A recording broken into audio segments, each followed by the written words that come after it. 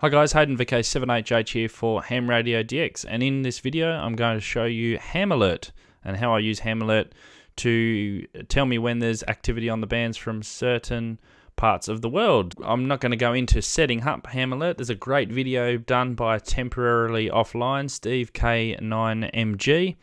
No, that's not his call sign. KM9G. Um, and I'll link that up in the cards above and also in the description below on how to set up Ham Alert uh, just in general.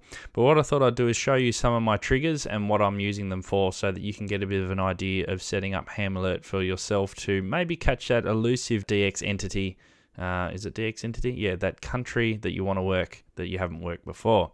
So, uh, what's Ham Alert? Well, Ham Alert basically uh, sends uh, information from spotting programs such as PSK Reporter and other clusters, and will send you an alert when it hears activity on the band assigned to your trigger. So I've got a couple of triggers there.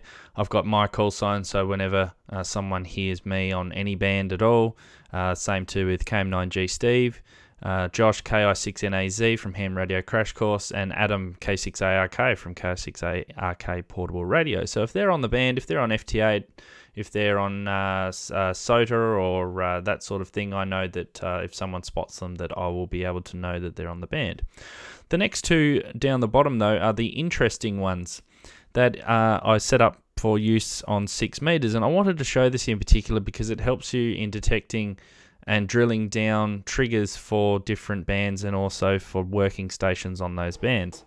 So over the summer, I decided that I wanted to work six meters, but I wanted to know when the band was open to the United States or South America, and I didn't want to have to keep checking all the time on various spotting uh, websites and find out if there's any signals at all.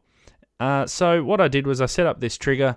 So this trigger pretty much uh, is uh, all the conditions need to be met for this trigger to work. I've got uh, it set on the band of 6 meters. The spotter DXCC is Australia or New Zealand. So what that's telling me is that if anyone in with an Australian call sign or New Zealand call sign spots any station from the North American or South American continent on 6 meters, all these conditions, if they're all met, it will then send me a push notification via the Ham Alert app on my iPhone which actually works rather well. I got uh, quite a few spots, and usually I would find out well in advance when the band was going to open. Uh, similarly, in the next one down, I set this to my own call sign VK7HH on 6 meters, and I had uh, the continents. I had, I think I had pretty much every continent except for Oceania because I didn't really want to uh, know when it was open to Australia because it was open almost most days over summer. So what this particular trigger does is I used to run FT8 sitting on receive all day while I was at work. And if my station heard any one of these continents on six meters, it would send me an alert. And I heard quite a few stations. I heard uh, mostly uh, uh America, North American stations coming through and it worked quite well. So you guys, so you can use this to set up maybe on HF if you're after a specific uh, DXCC.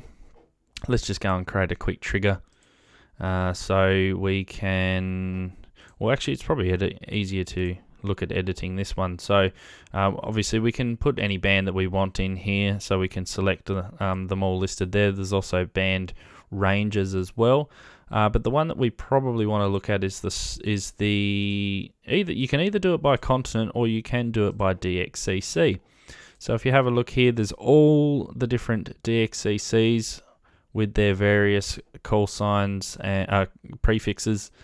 So if you want to work such a station, you can have a look through here. This works very well with FT8 as well. So if there's a, a station that you are really after to try and complete your uh, DXCC awards or something similar like that, then you can use this software to go ahead and to set triggers to alert you of any uh, upcoming uh, openings in propagation. So I hope this video helps uh, you with your ham alert. Just a quick one, which with what I use with my triggers anyway, I'm sure that I'll change them over time.